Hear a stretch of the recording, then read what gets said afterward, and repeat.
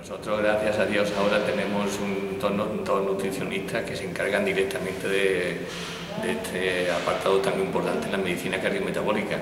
Pero sin duda como médico nosotros somos los primeros que tenemos que recoger los problemas que tiene el paciente, los malos hábitos y corregírselo. Pero no obstante ya digo que ahora, después de muchos años, contamos con, con especialistas y se los derivamos dentro de la misma unidad.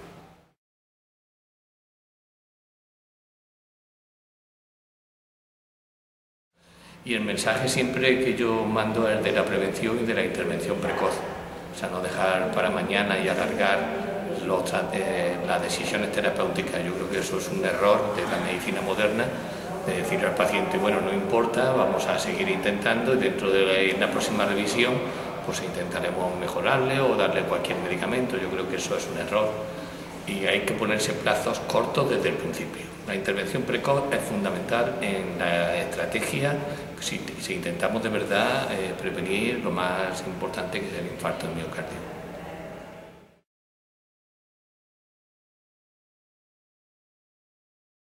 Los pilares desde mi punto de vista son la dieta, el ejercicio y determinados suplementos. Y la relación con la medicina cardiometabólica es total, porque los mecanismos implicados en las enfermedades cardiovasculares, eh, una gran parte de ellos están implicados en el propio envejecimiento. Y además, todo lo relacionado con el vaso interviene en el envejecimiento, de tal manera que aquella frase, bueno, ya muy antigua de, de que decía que el hombre tiene la edad de sus arterias, eh, es una verdad cada vez más eh, consistente que ha sido demostrada científicamente. Entonces, según tengamos la salud de nuestros vasos, así será la salud de nuestros tejidos.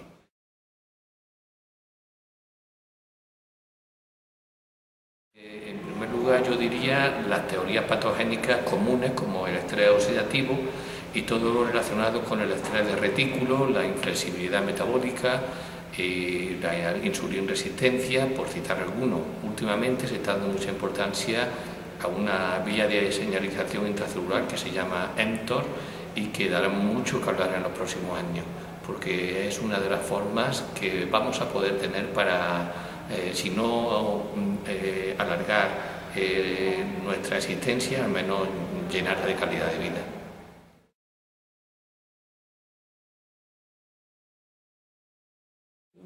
Muchísimo. El endotelio tiene los secretos de la enfermedad y de la salud.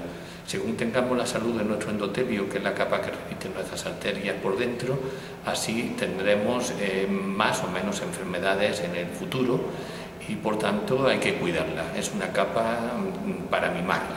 Por eso hay que tener la tensión lo más baja posible. Esto no quiere decir que haya que recurrir necesariamente a fármacos, se puede bajar la tensión arterial sin fármaco y también tenemos que tener lo más bajo posible el colesterol, subir el colesterol bueno lo máximo posible, mimarla. Hay que llevarse muy bien con el endotelio si queremos tener una vida sin problemas cardiovasculares.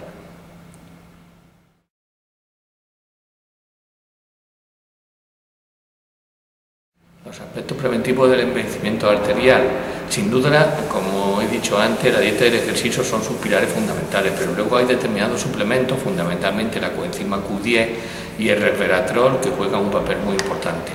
También determinados polifenoles pueden venir muy bien y otros antioxidantes más modernos eh, para alejarse de los clásicos que están ahora muy controvertidos, tipo vitamina E y además de eso yo creo que hay que recuperar el sabor de la utilización correcta de los omega 3 que ha pasado por fases, tuvo una fase hace unos años de apogeo, luego de crítica, parecía que no eran tanto y que con la alimentación era suficiente, y ahora están volviendo a resurgir en base también a la medicina bioreguladora. ¿Y esto qué quiere decir? ¿Qué relación tienen los omega 3 con la medicina bioreguladora? Pues una muy sencilla. Cuando nosotros aportamos omega 3, si además damos pequeñas cantidades de ácido acetilsalicílico, ponemos en marcha la producción de una serie de sustancias endógenas como la resolvina y la protestina, que ellos mismos se encargan de eh, combatir la inflamación vascular. Y esto es fundamental, esto es de la medicina moderna. Y no hay que dar una dosis alta. Según estas nuevas teorías, la dosis no tendría por qué ser tan alta como las clásicas, ¿no? con dosis más bajas, siempre y cuando vayan acompañadas de dosis bajas de ácido acetilsalicílico, se pueden conseguir efectos extraordinarios.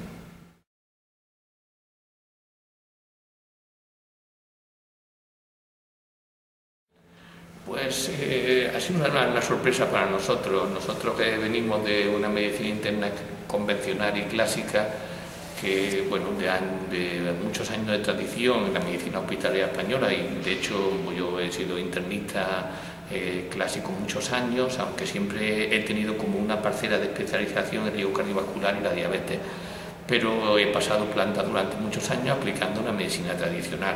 Para mí era impensable hace unos cinco años, por ejemplo, mandar un producto natural para bajar el colesterol. Y ahora lo mando con absoluta naturalidad. ¿Por qué? Porque tengo muchísimos pacientes que son intolerantes a los medicamentos convencionales y ahí encuentro un campo abonado para la utilización de productos naturales que es muy bien recibida por el paciente. Eh, indudablemente tiene como tiene el inconveniente del precio y que no todo el mundo a lo mejor se lo puede costear, pero siempre buscamos fórmulas cómodas para el paciente o para combinarlos de forma que el paciente eh, utilice un medicamento convencional no de muy bajo, no de muy alto coste y se pueda permitir el lujo de suplementarlo con un producto natural que aunque indudablemente le va a ser más costoso, pero que tampoco sea una cosa inaccesible. Y la verdad que estamos muy contentos con la respuesta médica, no ya la aceptación del paciente que se da por hecho.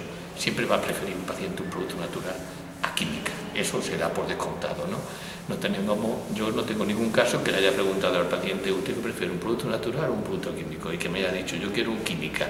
Eso no lo dicen nunca.